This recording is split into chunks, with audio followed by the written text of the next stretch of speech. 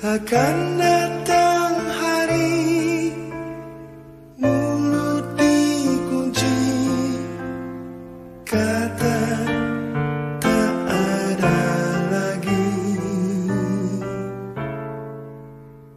Akan tiba masa